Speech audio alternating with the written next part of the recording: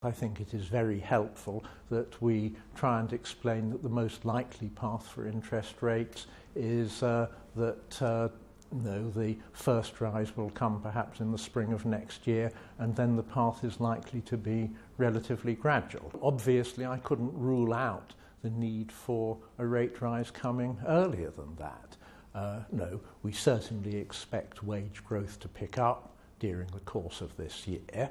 uh, if it picks up by more than we expect and there isn't an offsetting you know, improvement in productivity by more than we expect, then the case for an earlier rate rise will certainly be there.